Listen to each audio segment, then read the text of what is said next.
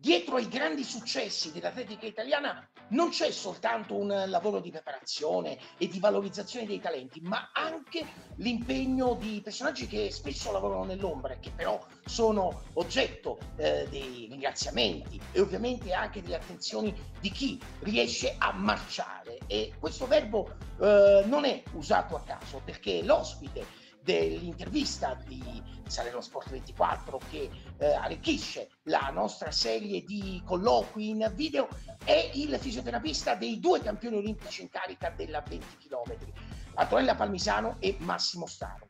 Ha origini salernitane ed è un motivo in più per salutare Cristian Bruno che abbiamo il piacere di avere con noi. Buongiorno Ciao, Cristian. Buongiorno, buongiorno a tutti e grazie per l'invito. Io sono Carmine Marino e iniziamo questa, questo colloquio ragionando innanzitutto sulla stretta attualità. Eh, il gruppo della Marcia Azzurra, dopo lo splendido europeo in cui eh, non solo c'è stata la doppietta Palmisano Trapletti, ma è arrivata anche la, la, medaglia importantissima di Francesco Fortunato della 20 km, ha compiuto un lungo lavoro di preparazione a Roccaraso in altura, prima di raggiungere Parigi. Quali sono le tue sensazioni? Sì, allora, come hai ben detto tu, eh, informatissimo, siamo stati a Roccaraso, un mese di lavoro intenso per, eh, per, i ragazzi che si sono preparati lì è un mese di lavoro anche un po' per noi che siamo intorno a loro. E I raduni, il raduno è andato bene, è andato molto bene. Eh, diciamo viaggiano su due forme diverse perché Antonella Partigiano dopo il successo europeo eh, ecco, è andata in clausura a Roccaraso, ha lavorato bene e insomma la forma era già crescente. Massimo eh, non è dove voleva essere, eh, che comunque con l'infortunio che c'è stato ad Antalya in Coppa del Mondo, la frattura del quinto metatarso, qualcosina ha, ha perso, ha, ha, fatto un lavoro incredibile nei post infortunio per poter poi essere a Roccaraso e lavorare, ha lavorato bene, ha lavorato tanto direi che insomma, il, il, bilancio è positivo del, del, dell'avvicinamento a Parigi. Che cosa ti lega alla provincia di Salerno ed è poi la vera ragione, eh, oltre ovviamente a questa ricognizione sullo stato di salute degli atleti azzurri, il vero motivo per cui oggi eh, sei nostro ospite? Sì, allora, eh, innanzitutto mi legano le origini. Eh, mia mamma e mio papà sono di Salerno, sono del Cilento. E poi a, a, ancora di più a, a, legare a legarmi, a mantenermi legato al territorio di origine sono anche i, i miei suoceri perché poi eh, qui dove abito ad Ostia eh, ho conosciuto la mia compagna attuale eh, e i miei suoceri sono di Chietri sul mare. Quindi diciamo che in qualche modo ho unito il, la montagna, la collina del, del Cilento al mare no? del, del, del nostro territorio. E quindi questo sicuramente mi lega, mi lega tantissimo la mia fede calcistica che è per la Salernitana e quindi ho avuto il piacere in questi ultimi due anni, dopo eh, diciamo tantissimi anni, perché noi andiamo da Rocca, a Roccaraso per preparare gli eventi estivi, ma da circa dal 2009-2010.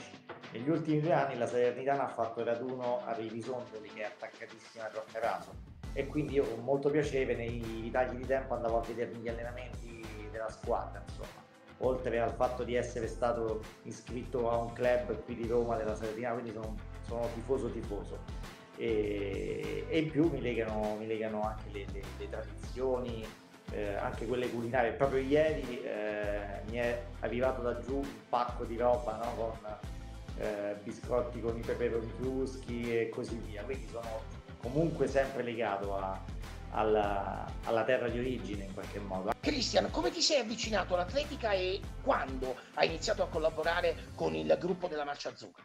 Allora, io mi sono avvicinato all'atletica da piccolo perché abitando ad Ostia, Ostia è la sede delle Fiamme Gialle, uno dei gruppi sportivi d'atletica più importanti e quindi io ho fatto parte delle fiamme gialle giovanili, del settore giovanile e facevo marcia. Eh, poi essendo abbastanza scarso, insomma, mi sono accorto in tempo che forse il avrei dovuto prendere un'altra strada. Quindi sono uscito dalla porta e rientrato dalla finestra, diciamo così. E, ed è bello perché poi eh, alcuni di quelli che erano i miei compagni d'atletica giovanile, alcuni hanno poi fatto la, l'attività professionistica e quindi ci siamo rincontrati in altre vesti. E, e io poi, ecco, anche proprio perché l'atletica è, è, un po' il mio mondo, è sempre stato il mio mondo, e facilitato anche dalla, dalla presenza d'oste di, di, delle fiamme gialle, eh, appena ho iniziato a lavorare, eh, a laurearmi e a lavorare nel mio studio, ho avuto la possibilità di cominciare a collaborare con qualche atleta e così mano a mano collaborando poi ehm, eh, alcuni atleti di quelli che seguivo sono diventati atleti un po' più bravi, un po' più importanti e questo ha fatto sì che io potessi in qualche modo affacciarmi anche alla, all'ambito federale, alla federazione alla nazionale dove ho iniziato facendo un po' tutta la gavetta, ho iniziato con le nazionali junior, allievi, quindi proprio piccolini, facendo dei raduni inizialmente e poi piano piano la mia attività e il mio impegno è cresciuto di pari passo alla crescita anche de- degli atleti che, che tuttora seguo. Ecco.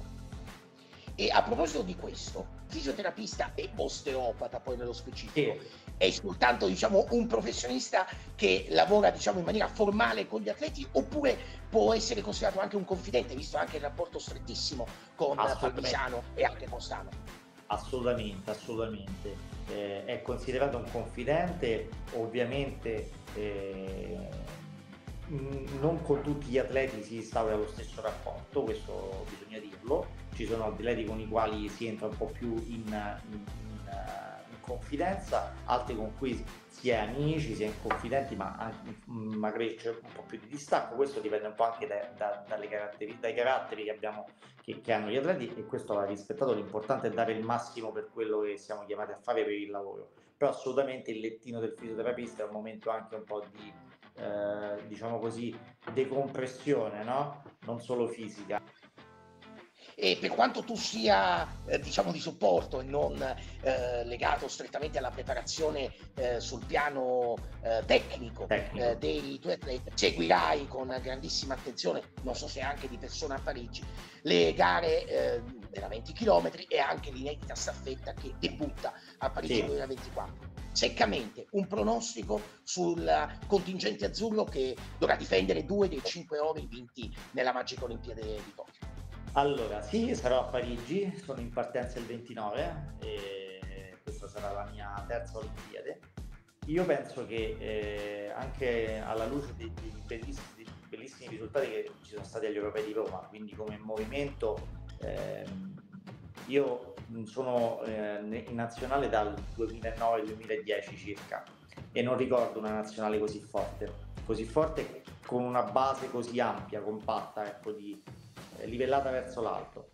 Quindi io penso che eh, come numero di medaglie potremmo anche fare meglio rispetto a Tokyo, come numero eh, io mi, mi, auguro, immagino e spero da tifoso, da appassionato di atletica di, di vedere tante maglie azzurre, soprattutto in finale Approfitto di questi ultimi secondi dell'intervista, visto che mi hai, mi hai, fornito un assist in precedenza, per chiederti le tue impressioni sulla Salernitana che verrà, che dovrà affrontare una difficile ricostruzione dopo la disastrosa stagione dello scorso anno. Da tifoso come vivi questa incertezza legata a questa probabile transizione tra il vecchio gruppo che verrà quasi certamente smantellato nonostante stia affrontando il ritiro e la squadra che il direttore sportivo Petrachi e l'amministratore delegato Milan dovranno costruire per il prossimo campionato di Serie B? Allora, io innanzitutto da tifoso sono tantissimo dispiaciuto per come sia andata l'anno scorso, nel senso eh, retrocedere si può, ma retrocedere così no. Una squadra che retrocede da là e sentire che l'intenzione, almeno societaria, no, non è quella di provare subito a ritornare in A non mi piace, non, non, non, è una mentalità vincente. I giocatori per adesso vedo che insomma, stiamo puntando a, a, prendere qualcosina di buono dalle serie inferiori, quindi mi aspetto che arrivi qualcosa di, di, di, di importante o il cosiddetto, no, i cosiddetti giocatori di categoria. Io ringrazio di cuore Cristian Bruno. Grazie, grazie a te, grazie per l'invito e seguite i nostri atleti queste, quest'estate, fra poco, tifateli e, e forza Salernitana. e ci sta tutto. Io invece ringrazio, oltre che Cristian Bruno naturalmente, i nostri lettori e eh, spettatori del canale YouTube, eh, invitandoli a seguire ovviamente eh, Salerno Sport 24 anche durante il periodo olimpico. Per intanto eh, vi diamo appuntamento a una prossima video intervista e un saluto da Carmine Marino. Alla prossima. Arrivederci, grazie.